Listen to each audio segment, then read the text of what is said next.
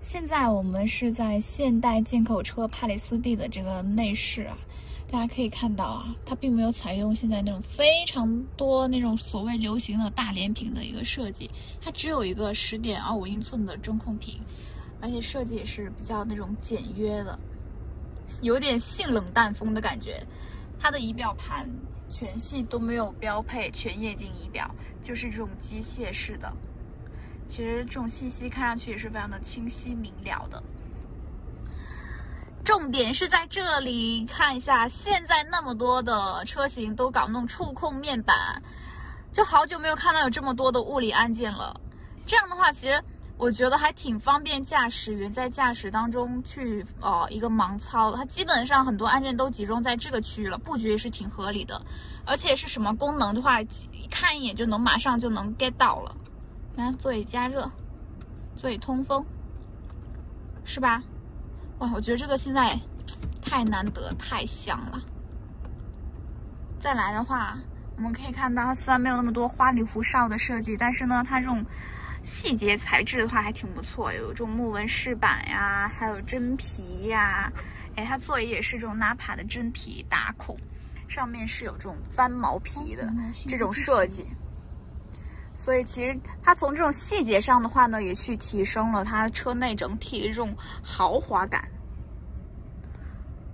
真的觉得还挺不错的。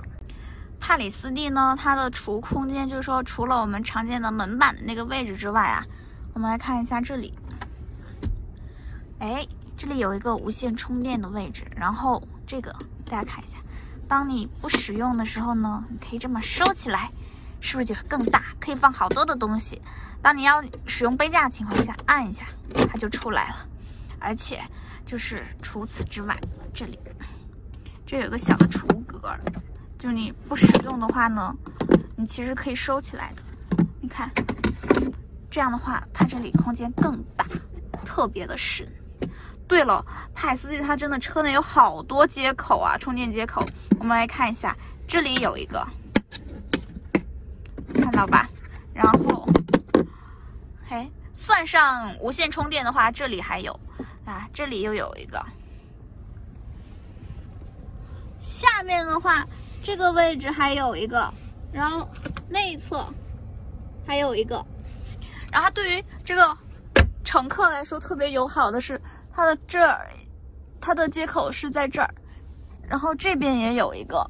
这样的话，其实对于我们来说，距离还挺近的。就是如果你要想舒舒服服的玩手机，我觉得这个位置还挺不错的。